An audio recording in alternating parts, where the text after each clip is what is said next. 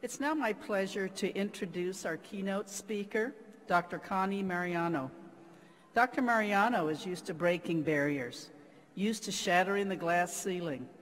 Born to a Navy steward and his dentist wife in the Philippines, Dr. Mariano lived the life of a family in the American Armed Forces. Her life has been filled with many achievements. She was the valedictorian in her high school class, graduated with honors from the University of California, San Diego, earned a medical degree from the Uniformed Services University School of Medicine, and has a distinguished 24-year career in the U.S. Navy.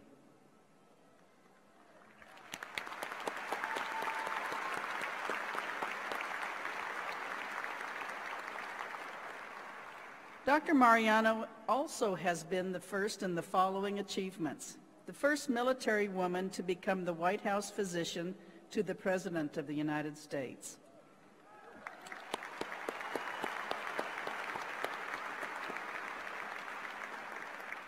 The first woman director of the White House Medical Unit. And the first Filipino American in U.S. history to become a Navy Rear Admiral.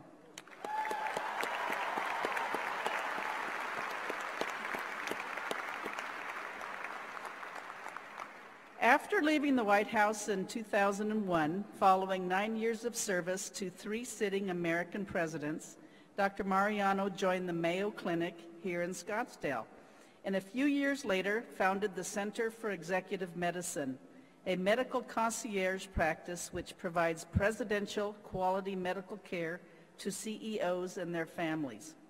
We are excited to have her with us to deliver some remarks. Please join me in welcoming Dr. Mariano to the stage.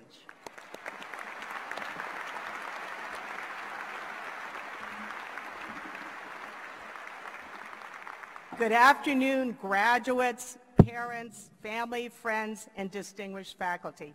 I am so honored to be your speaker today. I'm happy to be back in this arena once more. I sat in these bleachers on three separate occasions to cheer on my sons as they got on stage to receive their baccalaureates and master's degrees from ASU. So I'm proud to say today that we are a Sun Devil family. Thank you, ASU. Graduates, today is all about you. Your class represents professionals from all the health sciences. Just think of it. If an emergency were to happen today here in this arena, and somebody would yell, is there a healthcare professional in the house? You all would stand up and respond, right? So you've worked really hard to see this day happen, but you know you wouldn't be here without the help of a lot of other people. So today, remember to thank everyone who helped you get here today. Thank your professors, teaching assistants, administrators. Thank your parents and your family. Thank your friends. To the mom and dads here, first of all, Happy Mother's Day on Sunday for you moms out there.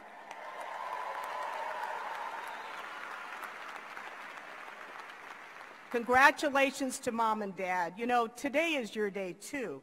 You have the right to be proud of your son or daughter as they receive their degree.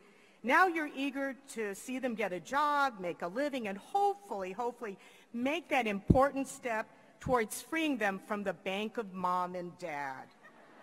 Although my adult children tell me that the bank of mom and dad never really closes. When I was invited to be your guest speaker today, I was very excited. I was also instructed to make my remarks brief. As I prepared for today's keynote, I reverted to my old college undergraduate days and my medical school behaviors when it came to facing a deadline. I procrastinated.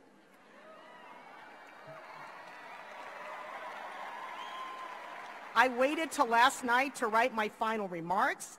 And as the day approached, I sat at Starbucks discussing various ideas for what I would say with strangers who were having coffee there. As, it, as I got closer to this day, I engaged in more frantic activity. And then, of course, I pulled that infamous all-nighter, writing late into the night. Of course, this has never happened to you, right? Never happened. Most important of all, I sought professional help.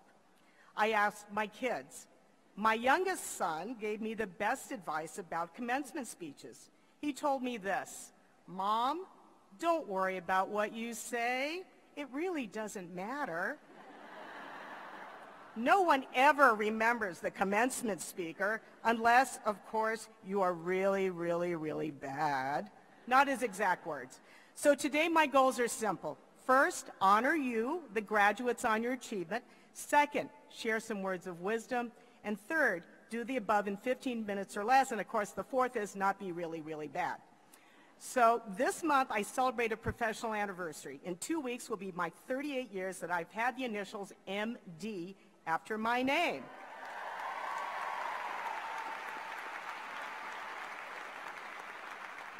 Since the day of my medical school graduation, I have seen healthcare evolve not only in scientific discovery and advances, but in the delivery of healthcare. So the education you're receiving at ASU reflects the advances in healthcare has made over all those years. You're entering the healthcare profession with the best education training available. That's going to make you very competitive in the marketplace. Many opportunities are going to await you. So what's next for you? Where do you plan to go after this, after your graduation? Inevitably, you will go on to the first of many job interviews. How do you proceed? How do you succeed? Well, let me share a true story about an interview that changed my life, and I'm going to try to do this in 18 minutes or less. So let me tell you this story. In 1991, I was living in San Diego, California. I was in the Navy. I was married to my first husband, which is a whole different story. Um, we have uh, our two sons were one and three, and uh, we lived in a lovely house three doors down from my parents, and I was division head for internal medicine at one of the largest teaching hospitals in the Navy. And on the surface, you would think life would be great. I had a wonderful job, great career, but somehow something felt missing, and I couldn't put my finger on it. But just somehow I thought, is this the way it's going to be? And it so happened at that time, my 10-year commitment was almost over in the military, and I had to come up with a big decision, again, on a threshold of a decision, what to do. My 10-year commitment was up, coming up, and I had to decide whether I wanted to stay in the Navy and make it a career or get out and go into civilian practice. And I was really wrestling with that. My husband said, listen, my law firm is going to Palm Springs for a retreat this weekend. Let's leave the kids with your parents and let's go to Palm Springs and you make your decision in the desert. I said, good idea. So we go off to Palm Springs, and I remember that day I was trying to relax and meditate and calm down. And then that evening they had the traditional attorney cocktail party, and I walked down into the grand ballroom with my husband. He goes off and joins the law partners, who at that time were all male, and I find the wives of the law partners. And I finally found them. And what struck me was they were tan, they were rested, they were talking about Pilates, yoga, you know, they had time for shopping, lunch, and they looked, you know, they weren't frazzled like me, working long hours, taking care of family, students, things like that. So I made a decision. So I pulled my husband aside. I said, you know what? I think I know what I want to do. I have, I have an epiphany. He says, what do you want to do? I said, well, I'll get out of the Navy. You become law partner, and I will become a trophy wife. I really want to be a trophy wife after seeing them. He says, okay. So we had a wonderful weekend. Monday morning, I'm back at the Navy Hospital in San Diego. I go down to the Office of Personnel. I ask for the papers for release from active duty because if you want to leave the military, you can't just say, bye-bye, I quit. Nope, you fill out your paperwork in triplicate. They forward it to the people in Washington, D.C., and then you are allowed to leave nine months later. So I'm filling out the paperwork on my desk, and it dawns on me that I am really leaving the military. I've known all my life as a military brat in the military medical corps. And so that's what it takes. I'm filling it out. So as I'm filling out my paperwork, my phone rings, and it's the chairman of medicine, my boss, the captain. And he doesn't know I'm trying to leave. And he says, Connie, I just received the message traffic from Washington, D.C., and I'm to nominate five candidates for the position of White House doctor to represent the Navy, and I'd like to include you among the five nominees.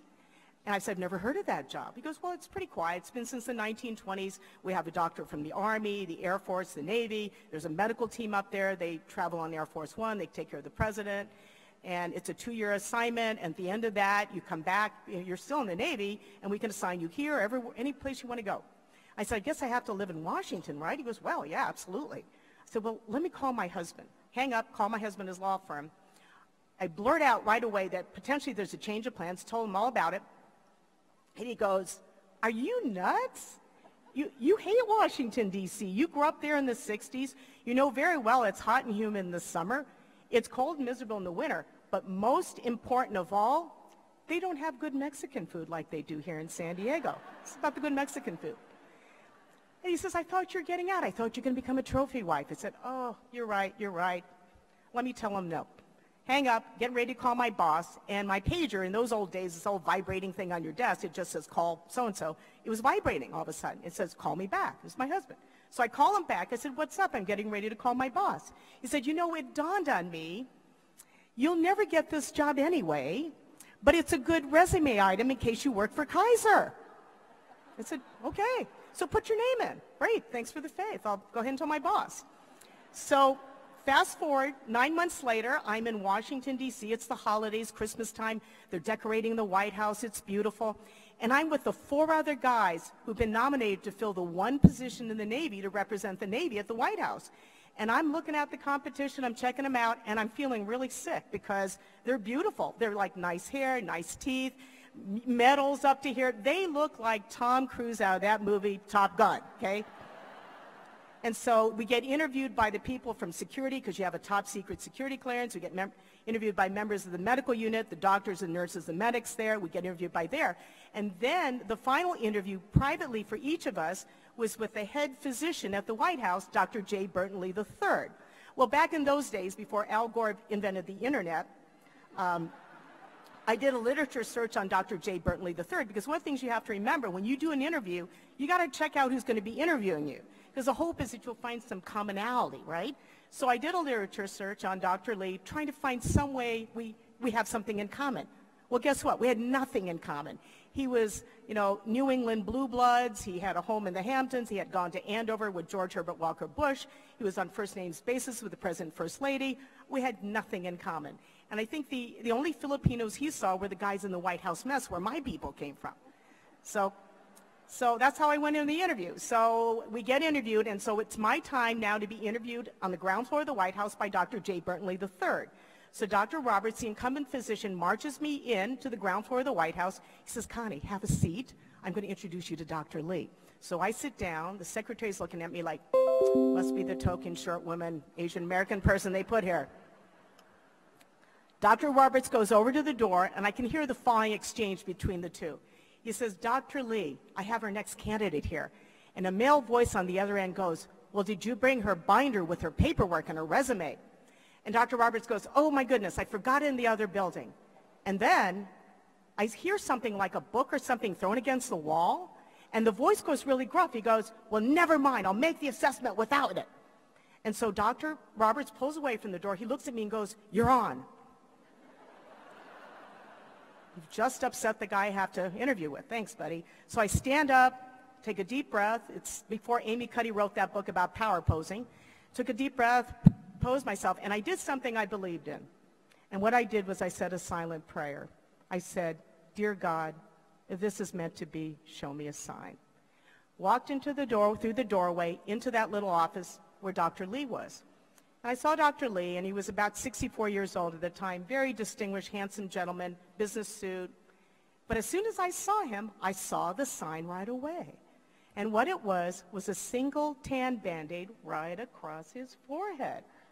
And at that time, I was a mom of two little kids, and my mommy eyes said, my goodness, he's got a boo-boo on his forehead. Maybe he's human. So he looks at me, shakes my hand, nice firm handshake, good eye contact, and then he motions over to his desk and a seat beside him. He says, sit down, just like that, sit down. So I walk over and I think, boy, they do things differently at this White House. This guy doesn't even warm up. So I wait for him to sit down. We sit opposite each other, and he launches right into my interview. First question, why do you want this job? And you will all be asked that question with every law firm, every, every medical group you join, every occupation you, you seek, every graduate group you wish to join. Any institution will ask you any job you're applying, why do you want this job? And I had prepared all these nice responses I thought politically correct for him. But you know what? Because I saw the sign, I wasn't going to get the job anyway. This is what I said. Dr. Lee, it's payback time. And he looks at me like, what? I said, it's payback time. I owe a lot to the United States of America. My father was a poor Filipino man. He grew up in poverty. He joined the U.S. Navy in the 1940s when the United States and the Philippines had an agreement. And he joined as an enlisted man, became an American citizen. I was born on a Navy base. I was educated in public school. I went through the military medical school. I got my MD. I got my career. I owe so much to this country. If I can repay my debt by serving the commander-in-chief, that's what I want to do. So I look at Dr. Lee. There's no expression on his face. As we say in medicine, a flat affect. As they say in Vegas, poker face. Next question. He looks at me. What can you do here? Once again, you're going to be asked, what can you do in graduate school? What can you do for our medical group? What can you do in this company? What can you do here? I said, Dr. Lee, you see the three gold stripes on my sleeve? I was a commander. The longer I'm in the Navy, the more stripes they put on my sleeve, the more they put me behind a desk. I am not a desk doctor. I'm a trench doctor. You put me anywhere in the world outside of a medical center, I can take care of people. Once again, no expression on the man's face, poker face, flat affect. At this point, I'm feeling really bad because this is like the worst interview of my life. It's not feedback. So he stands up right in the middle of my interview. And so I stood up, and he looks at me and says, as far as I'm concerned, we can stop the process right now. And I thought, oh my gosh, this is so embarrassing. I totally blew this.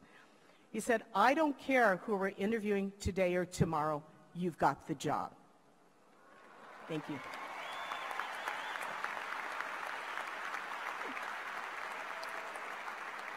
And the way that fate would have it, 13 months later, I had his job. So.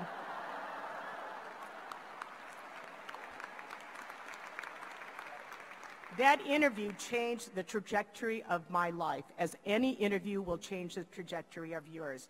I wouldn't be on this stage today had I not had that interview. That one event taught me the following lessons, which I'm going to pass on to you today. The first one to me, really, is something separate from education, and it's about your life partner. You make sure your life partner, your spouse, is your biggest fan of all the decisions you will make. You make sure that person has your back, supports you, your true friends, your life partner is someone who elevates you, who wants only the best for you. So choose them and choose your friends wisely. Second is be open to opportunity. It may not be what you planned, but it may be better than what you imagined, so be open to that. Third, don't underestimate the power of prayer to guide you in your career and your life decisions.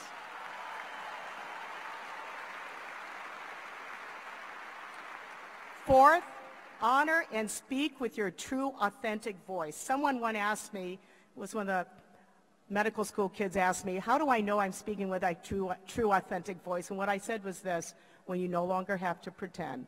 That's how you know your true authentic voice. And finally, so I can be short and sweet, be grateful. Be grateful for all the blessings you have and all the talent you've received and all the things you're going to do in your life. Be forever grateful.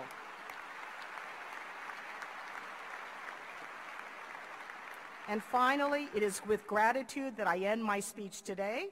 I thank you for the honor of celebrating you, and I wish you tremendous success enjoying your career and in the years ahead. God bless you all.